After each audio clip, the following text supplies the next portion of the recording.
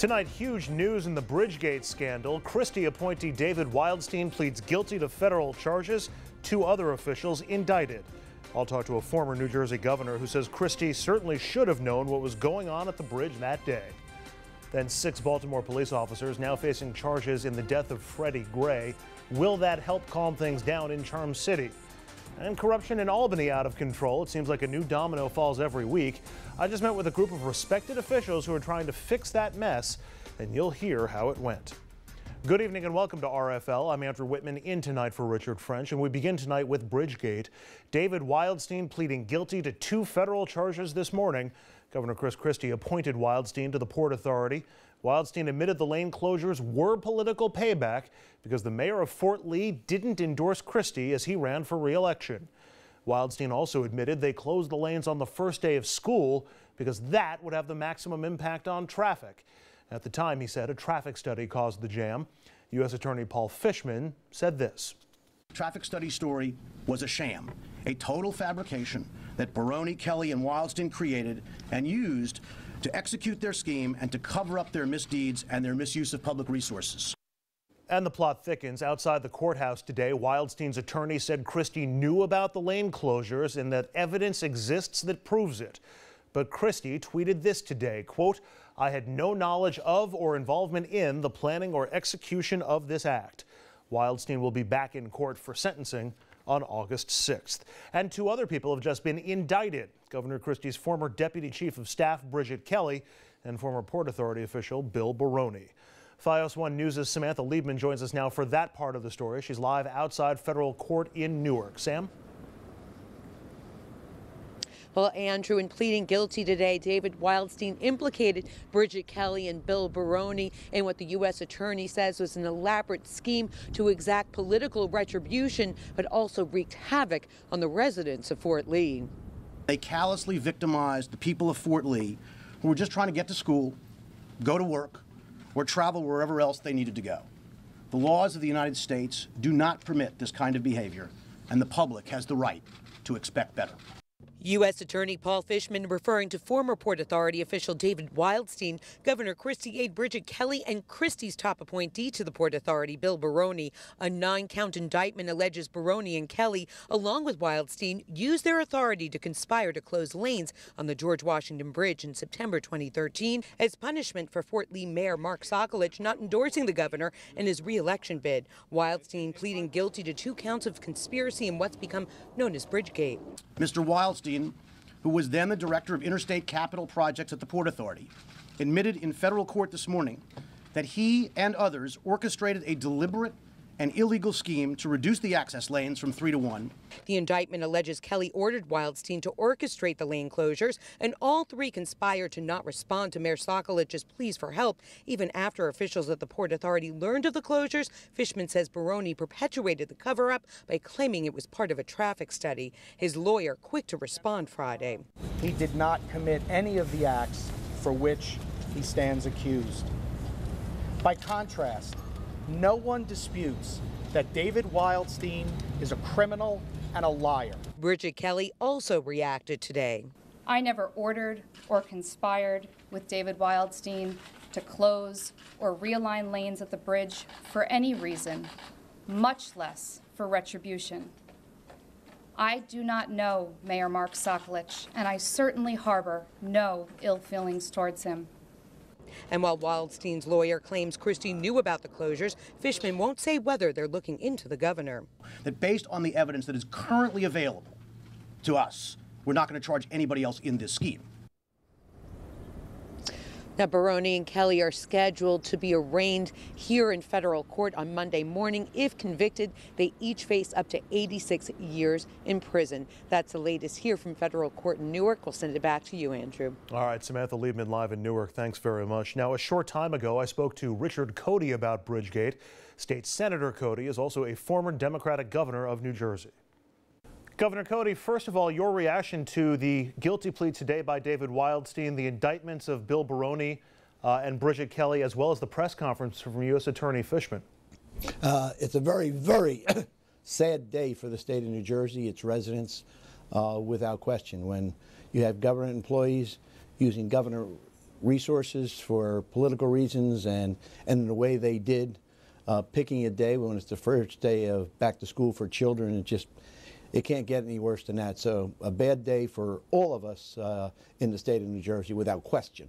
There is a lot more that we will play out in all of this, but let's assume for the time being that we learn nothing more about Governor Christie's involvement, personal involvement in this scheme in any way. What's the impact just from what we know today? How does that impact Governor Christie's ability to govern the state of New Jersey going forward? Well, it hurts without question because obviously people are going to think more negative about him now. And the people that did what they did, um, Dorothy from Kansas didn't appoint them, the governor uh, appointed them. And these people took it upon themselves to think that this was proper uh, to do and understand it was be, uh, being done during the course of the reelection for the governor. Uh, so clearly, politics was in the front of their mind and shouldn't have been in their mind at all and they were sending a message if you don't endorse, we're going to get you. If you're not helping, we're going to get you. And unfortunately, uh, there was a lot of that culture going around then, and hopefully it's gone, but uh, we just don't know. But clearly, um, the governor wanted to win and win big, and these people went out on their own. I don't think, by the way, Andrew, that the governor uh, ever came up with this idea or participated in the idea. However, the question remains when did he know and what did he do about it? And your answer speaks to the overall political climate and, and public opinion in the state of New Jersey. But what about the way Trenton operates and will continue to operate? The governor's been able to continue getting things done in Trenton despite what we've already known about Bridgegate. Do you think what we've learned today changes that? Does it make it more difficult for Chris Christie to govern in Trenton? Well, I think it makes it a lot more difficult. And if you're going to continue on this presidential thing, it makes it only worse because people are saying, you know, he's never here. We do have a lot of issues in Trenton aren't being addressed aren't getting done. Uh, so this puts a lot of pressure on him to say, hey, let's back off from that thing and let's get down to governing New Jersey and let let this play out as it does. Uh, there's obviously, in my opinion, uh, some more indictments to come uh, affecting his people, which is again unfortunate. Uh, listen, I don't want to see any governor uh, have this kind of a scandal. It's happened. He's got to stand up and say how horrible it was. Uh, he didn't come up with the idea, but I apologize to our residents that it happened at all on my particular watch and move on from there. You're uniquely positioned to be able to speak about what it's like being the governor of New Jersey. When you were acting governor, how much day to day involvement did you have in the operations of the Port Authority? Had there been a, a, a, big event on the George Washington Bridge, would you have been involved in it? Would you have known about it? How, how much day to day involvement is there for a governor and, and with the Port Authority? What, when you're governor, and we did change the law, uh, Andrew, to, to, say it's no longer acting as governor, we, um, I was in receipt every morning and every night events going on around the state of New Jersey. That's a normal thing for a governor's office to do for the governor. So when you have this huge, huge backup at the George Washington Bridge going on not one day, but two days or three days, you know about it the first day. So your staff says, here's this, here's that, so forth and so on. Conversations with it between your chief of staff, deputy chiefs of staff, whomever the Port Authority would uh, include you in on that. So you know what's going on at the, the, Port Authority. And when something like this happens, which was monumental, you've got the mayor of Fort Lee every hour calling and saying, listen, my residents are just going crazy over this. Uh, we've got health and safety issues here. Ambulances can't get by. Police cars can't get by. Uh, this is a disaster. You know about it without question. Finally, Governor, a quick speculation question. David Wildstein's attorney has said before, said again today, that that Wildstein can prove that Governor Christie knew what was going on during the Bridgegate uh, events. What happens to Chris Christie if that's true? If we if it's proven that he knew what was happening as it was happening? Well, we do know because there are pictures of Mr. Christie, uh, the Governor Christie, and uh, Mr. Wildstein at the 9/11 uh, uh, event uh, that year. And Mr. Wildstein's people, I think, are alleging they had the conversation. Them Mr. Christie says he doesn't recollect the conversation, so it may be uh, one of those he said, she said things. We don't know, but I think other people would have to be able to say, oh, I also had a conversation with him about it. And the other thing that, that doesn't look good is this idea that there was a real traffic study, as Mr. Christie expounded on for weeks and weeks. We all know that in today's age, to do a traffic study, you don't have, have to put cones out. You go to the computer and you put in all the data about the uh, cars coming and going, what time, so forth and so on. And in five minutes, it'll spit out to you what you want to know. So a traffic study was BS from day one, and it's BS today. But if we start getting more information and more proof, to be more specific, that Governor Christie knew what was going on in Bridgegate, is it time to start thinking about whether he can finish his term? Well, I think proving it is something else. Uh, so at this point, you've got to give him the benefit of the doubt until more things come out. And the other thing that I think is going to be very revealing is who are the unindicted co-conspirators and what did they do? Uh, I would think it was uh, probably during the cover-up, which is just as significant as to what happened.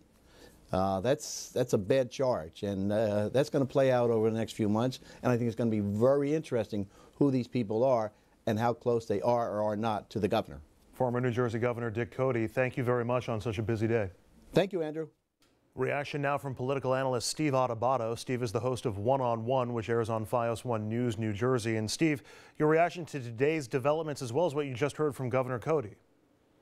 Well, first of all, you know, the, the part of what uh, Dick said that I agree with is that it's a sad day in New Jersey. It's uh, devastating when people in high level government positions um, are indicted by the highest level federal prosecutor, Paul Fishman, for being engaged in such activities that impact people's lives, that snarl traffic in this way. We talk about traffic and it sounds somewhat innocuous. We're talking about children on the first day of school. We're talking about first responders who potentially uh, could have been you know, responding to a situation involving people's health and safety um, that would not have been able to get to where they needed to go. It is unconscionable that that this took place, and the fact that uh, Mr. Wildstein said what he did publicly and admitted his guilt speaks for itself. And now um, they are arguing as to who did what and who didn't do what, and you know now everyone's in the process of trying to save their respective behinds, but you know uh, we don't really know what is being said to the U.S. attorney in private right now even if this never gets back to Governor Christie in terms of the planning or the knowledge of Bridgegate, Steve, there's been a lot of allegations that Governor Christie created a bully culture or even the culture of corruption that allowed for those events to take place. Is Christie now guilty ostensibly in the public specter, even if he's never indicted or convicted? Guilty of what? Well, guilty of creating that culture that, that fostered or allowed this sort of thing to happen. Look, the bottom line is these people were appointed by the governor. The governor knows he takes responsibility for putting those people in those positions, um, and that's not debatable. He's got to be devastated by this. He knows that no one else put those people in those positions. Ultimately, they are responsible for for those their actions. Um, it's an abomination what they did. The question becomes: to what degree do we hold the leader responsible for those specific particular actions. I would say this. To say that Governor Christie didn't know about it, I don't think he did know about it. Is that enough for a leader? No. I believe there is a potential situation that says, how could they think they could have gotten away with such um, actions? Um, you know, Governor Christie clearly, as he goes out on the presidential campaign, if in fact he chooses to run, is going to have to answer those questions.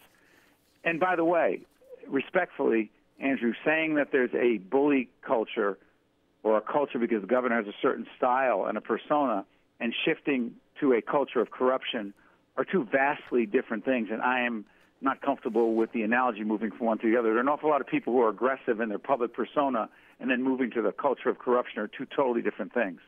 All right, political analyst Steve Adubato, the host of One on One, which airs on FiOS 1 News New Jersey. Steve, thanks very much.